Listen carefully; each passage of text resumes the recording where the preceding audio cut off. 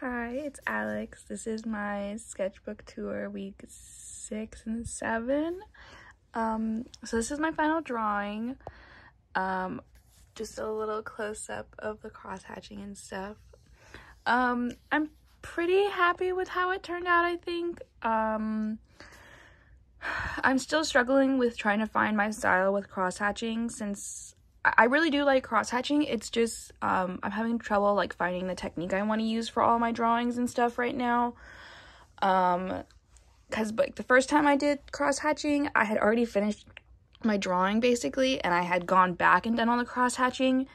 But because that takes so long, I was trying to find like an in between way to um do it, and so I'm still trying to figure out how I want to do that. Um, so yeah, I think the my favorite parts are the sphere and the pear. This was really hard for me, just getting it as dark as it was, um, and still being able to see like the cross hatching and stuff in it. Um, and then I actually had to go back over this eventually, um, and make it even darker because it was too light. And then this I also had to go back over. I wish I had gone back over this part a little bit actually now that I'm looking at it um because there was like the glare from everything but i think it's still a little too light compared to like the black bottle that it is.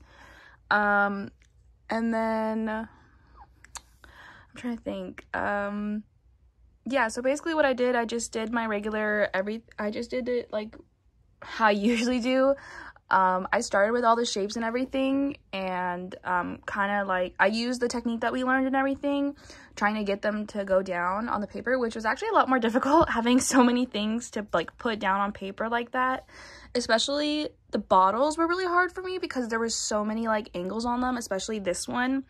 All the angles made it really hard to like put them on paper correctly and um this one is actually wrong um there should be another like little section but i ran out of space so i just made it look like it was supposed to look like that um and then the the uh pear apple and like sphere were really easy to put down on paper um, I'm really happy with how the sphere came out. I think it looks very circular. So, um, I actually had problems with the pear um, for some reason, getting this like curve um, down correctly. I don't know why I struggled so much with that, considering we've done pears so many times, or I have at least. And um, yeah, so I went back with my usual shading. I kind of put down the base colors first, and then I would go back and do the cross hatching.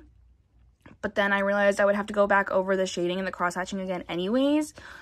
So I think in the future I need to put down more shading and everything um, to make my to make it look better on the base and then I did the box. I ended up extending it um, and I kind of just used the smudges from my hand to color this in um, and then actually colored this in. I just left whatever smudges I had and used my eraser on this and then I went over the background to give it to like get pop a little bit more.